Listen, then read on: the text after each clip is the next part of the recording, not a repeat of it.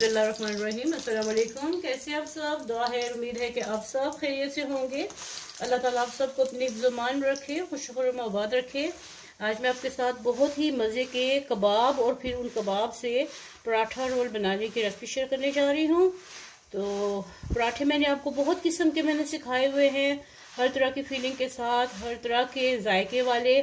तो आप चल के पराठे भी देखिए और पराठे की रेसिपी का मैं लिंक शेयर कर दूँगी आपके साथ कि मैं किस तरीके से पराठे बनाती हूँ। तो कबाब की, कबाब बनाने की रेसिपी आप ज़रूर देखिएगा कि मैंने कबाब किस तरीके से बनाए हैं। तो यहाँ पे मैं पराठे को सेक लूँ।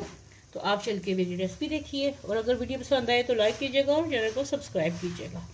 तो चलिए आप चल के रेसिपी देखिए और यहाँ पे मैं पराठा फ्राई कर लूँ। चिकन का कीमा है और इसमें मैंने थाई और ब्रेस्ट पीस दोनों का कीमा बनाया है। तो जिससे ये कबाब बहुत जूसी और जायकेदार बनेंगे सॉफ्ट बनेंगे। और यहाँ पे मेरे पास दो ब्रेड के मैंने, दो ब्रेड स्लाइसिस के मैंने ब्रेड क्रम्स बना लिए हैं। अब इसमें इसकी सारे मिक्सिंग करते हैं। कीमा डाल दें। अब यहाँ पे मेरे पास है एक अदद प्याज, अदरक और लहसुन के आठ दस जवे हैं और हरी मिर्चें मैंने ली हैं पाँच अदद और साथ में हरा धनिया। ये दो टेबलस्पून के करीब लेके इसको मैंने धोने के लिए रखा हुआ है। ये मेरे पास हरा धनिया है और प्याज को मैं थोड़ा सा छोटा कर लूँगी और इन सबको मैंने चॉप कर लेना है। चॉपर में डाल के तो ये मैं सबको चॉप करके तो की में मिक्स करूँगी, ठीक है? सब कुछ मैंने इसमें डाल लिया अब इसको मैं चॉप कर लूँगी। देखिए सारी चटनी टाइप बन गया है, अब इसको मैं निकालती हूँ इसमें से। और इस सारे मसाले को चिकन के कीमे में मिक्स कर देना है। कोई इसका पानी नहीं, निचोड़ना, कुछ भी नहीं करना। ये बहुत मज़े के रेशमी कबाब बनेंगे, लेकिन मैं इसमें रेशमी कबाब में जाता है कच्चा पपीता। मैं इसमें बिल्कुल नहीं डालूँगी, क्योंकि ये तो ऑलरेडी चिकन का कीमा है, जो बहुत सॉफ्ट होता है तो इसमें कच्चा पपीता डालने की ज़रूरत नहीं है। अगर आप बीफ से बना रहे हैं, या आप इसको मटन से बना रहे हैं तो तब आप ज़रूर डालिएगा, लेकिन चिकन में डालने की ज़रूरत नहीं है। अब इसमें मैं डाल रही हूँ नमक हसबे जायका, one and half teaspoon भर के, या फिर आप ये बाद में भी चेक किया जा सकता है, लेकिन ज़्यादा मत हो जाए, इसलिए मैंने वन हाफ़ टी स्पून डाला है। सुर्ख मिर्च डालूँगी इसमें मैं एक टी स्पून कुटी लाल मिर्च, हरी मिर्चें भी हैं, ये भी ध्यान रहे। कुटी लाल मिर्च डालूँगी इसमें हाफ़ टी स्पून सूखा धनिया डालूँगी इसमें दो टीस्पून या एक टेबलस्पून आप कर सकते हैं। दो टीस्पून मैंने इसमें डाल दिया सूखा धनिया पाउडर साबुत जीरा इसमें जाएगा, एक टीस्पून भर के साबुत जीरा इसमें चला गया। इसमें जाएगा garam masala powder half teaspoon साथ में इसमें मैं डालने लगी हूँ क्रीम क्रीम इसमें जाएगी एक से दो टेबल स्पून इसमें क्रीम डाल दें आप। रेशमी कबाब है तो इसमें क्रीमी टेक्सचर आना चाहिए। इसको मैं कीमे को बहुत अच्छे से मैं मिक्स करूँगी। इसके लिए मेरे पास बाउल जो है, ये डिश जो है, ये छोटी हो गई है तो इसको मैं बाउल में शिफ्ट कर लूँगी और बहुत अच्छे तरीके से हाथों से मसलना है इसको। ठीक है? तो चलें मिक्स कर लेती हूँ, फिर आपको अगला स्टेप दिखाते हैं। शेयर करती हूँ आपसे अगला स्टेप तो ये देखिए, मैंने इसको बहुत अच्छे तरीके से मसल मसल के, ये देखो, बिल्कुल देखें, ये बिल्कुल मुलायम है, इसमें कुछ भी बाकी नहीं है। बहुत अच्छे तरीके से इसको मैंने मिक्स कर लिया और इसकी इतने मज़े की जो मैंने इसको लहसुन, अदरक और हरी मिर्चें को मैंने ग्राइंड किया है प्याज के साथ। इसकी इतने मज़े की खुशबू आ रही है कि दिल चाह रहे कि अभी बनाऊँ और खा लूँ। इस कीमे को मैं तकरीबन आधे से पौने घंटे के लिए मैरिनेट करके रख दूँगी ताकि सारे मसाले अच्छे तरीके से इसमें रश बच जाएँ तो फिर इसके कबाब बनाएँगे और फिर खाएँगे भी, इंशाल्लाह। यहाँ पे मैं आपको दिखाऊँ कि मैं पेपरिका पाउडर इसमें डालना भूल गई थी तो हाफ़ टी स्पून इसमें मैं पेपरिका पाउडर डाल रही हूँ। और इसको अच्छे से मिक्स कर लेती हूँ। दोबारा से एक बार इसको, जितना भी आप मसलेंगे, ये तो सॉफ्ट हो, बहुत सॉफ्ट है ये कि बिल्कुल सॉफ्ट होना चाहिए। इससे पता चलता है कि आपके कबाब कितने मुलायम बनेंगे। तो ये जो कीमा है, इसको बिल्कुल ही सॉफ्ट होना चाहिए अब यहाँ पे मैंने एक प्याली ली, ले ली है, इस पे हाथ में पानी लगाऊँगी और इसको कबाब की शेप दे के तो अपने जो तो कबाब बना बना के मैं रखती जाऊँगी, ठीक है? मैंने फ्राइंग पैन ले लिया है, इसमें ऑयल डालते हैं। और अब इसमें कबाब डालती जाऊँगी। आँच को हल्का कर देते हैं।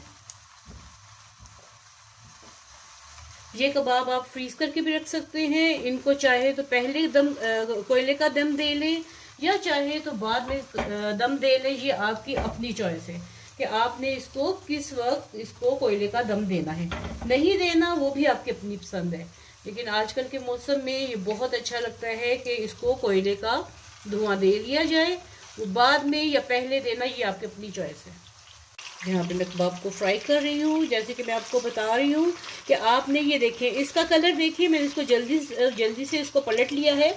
ये हाफ़ डन हुआ है। तो अगर आपने फ्रीज़ करने हैं तो इस तरह हाफ़ डन भी कर सकते हैं फ्रीज़ कर सकते हैं। बहुत अच्छे रहेंगे, निकाले। जब कोई ज़रूरत पड़ती है, किसी भी वक्त मेहमान आ जाए या घर में, घर के खाने के लिए भी तो आप हाफ़ डन करके रख सकते हैं, इसको फ्रीज़ कर दें। और फिर दूसरे दिन बना लें या तीसरे दिन बना लें, ये तकरीबन एक महीने तक आपके फ्रीज़र में ये रह सकते हैं। तो ये देखिए।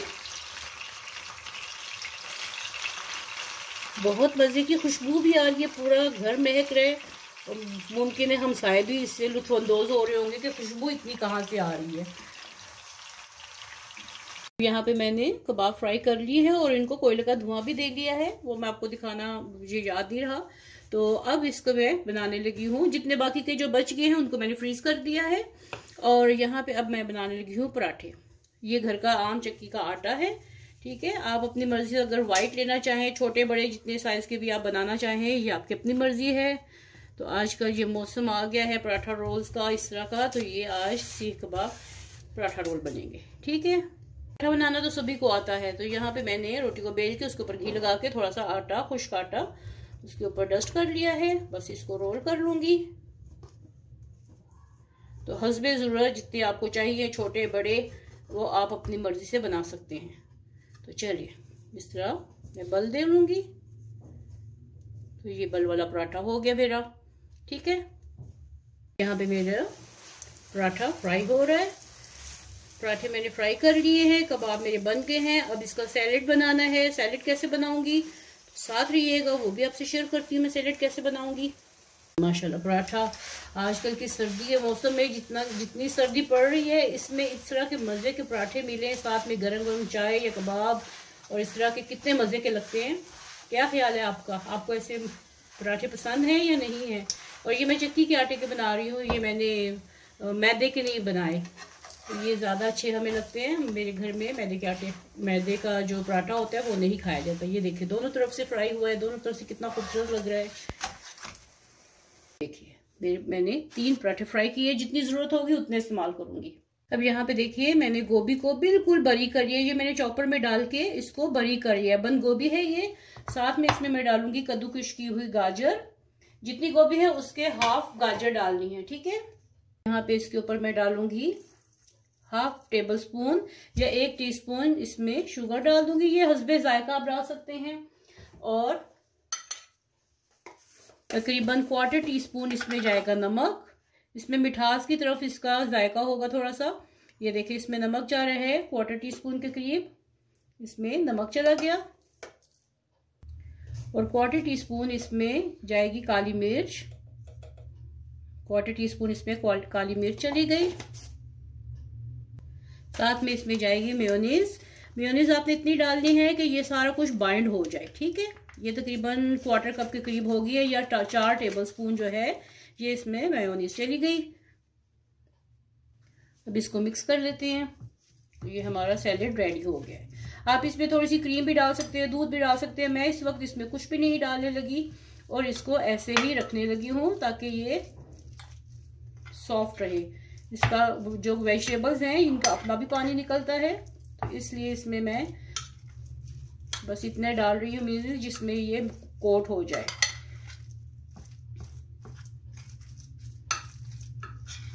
ये देखें, ये सारा मिक्स हो गया। बहुत अच्छे से मिक्स हो गया ये। ये देखें। अब यहाँ पे मैं ले लूँगी एक अदद पराठा। यहाँ पे मैंने पराठा ले लिया है, नीचे बटर पेपर रख लिया है। अब इसके ऊपर मैं लगाऊँगी पुदीने की चटनी। ये भी आप लोग अक्सर बनाते हैं, नहीं बनाते हैं तो फिर मैं आपको बता दूँगी कि किस तरह बनानी है। लेकिन इस वक्त मैं बना चुकी हूँ। मेरे पास है बनी हुई, पड़ी हुई, ये इसके ऊपर लगा दें। आप चाहें तो चिली गार्लिक सॉस भी लगा सकते हैं। आपकी अपनी मर्ज़ी है, सारी किस तरीके से आपने इसको असेंबल करना है। इससे ये है कि थोड़ी सी चटपटी करारी सी बनेगा, करारा सा बनेगा, क्योंकि इसके ऊपर ये मेयोनीस वाला सलाद जा रहा है। साथ में इसके ऊपर आप ये लगा दें सारा, जितना भरना है, आपकी अपनी मर्ज़ी है। ये देखें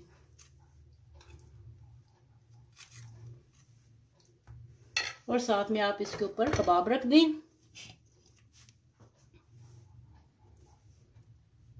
उसको रोल कर दें। आप चाहें तो इसके ऊपर टमाटर, प्याज, खीरा लगा सकते हैं। मैं नहीं लगा रही क्योंकि इसके अंदर ऑलरेडी है। तो चलिए इसको अब रोल कर लेते हैं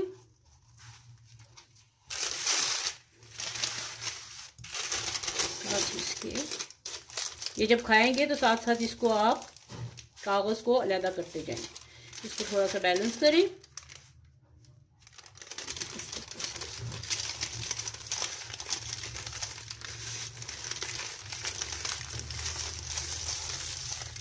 तो ये हमारे इसको अंदर कर दें। ये ज़्यादा बड़ा नहीं है कागज़ तो बटर पेपर इसको ऐसे कर दें। इसको अंदर कर दें। ठीक है?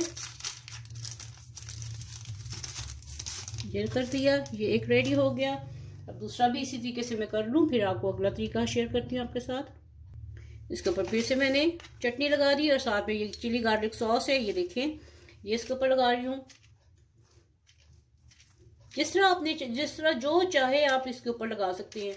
और ये कबाब जो है मल्टीपर्पज़ कबाब हैं। आप किसी वक्त ये बना के मैंने फ्रीज कर दिए हैं, जो कीमा बाकी बच गया है जो कबाब बाकी बच गए हैं, वो मैंने फ्रीज कर दिए हैं। तो इस तरीके से बनाए बना के रखे। जब भी दिल करे निकाले खाएँ। आगे रमज़ान आ रहा है तो रमज़ान में भी आप बना के खा सकते हैं। ये देखिए मैं एक्स्ट्रा लगा रही हूँ मेन्यूज इससे भी बहुत सॉफ्ट हो जाता है। जो आपका पराठा रोल है बहुत मज़े का हो जाता है। ये देखिए भर भर के ये लगाए। इस तरीके से और साथ में इसके ऊपर कबाब रखें।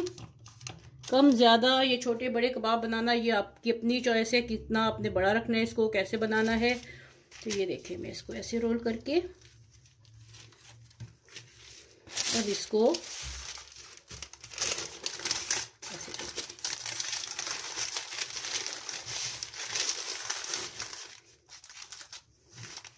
यहाँ पे मैंने दोनों ले लिए हैं, अब इसको कटिंग करते हैं। ये देखिए बड़े बड़े बनाए हैं ना तो ये है कि काम जल्दी ख़त्म हो जाता है। बजाय इसके कि आपने इसको, ये देखिए, कागज़ इसके अंदर है। इसको खोलते जाएँ, रोल खोलते जाएँ और बनाते जाएँ। ये देखिए, कितना अच्छा से ये हो गया है।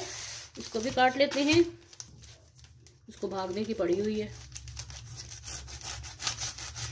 जिस तरीके से भी आप रोल करना है, पार्टीज़ में बनाए या पिकनिक पे लेके जाएँ तो ये देखिए, इसके अंदर से, ये देखिए, कितना अच्छा ये लग रहा है, माशाल्लाह माशाल्लाह। तो कैसी लगी आपको आज की मेरी ये रेसिपी ज़रूर बताइएगा और फीडबैक दीजिएगा।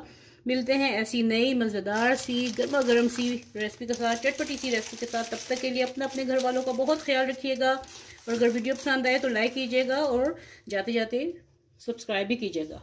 मिलते हैं ऐसी नई मज़ेदार सी रेसिपी के साथ। तब तक के लिए अपना अपने घर वालों का बहुत ख्याल रखिएगा। अल्लाह हाफिज़।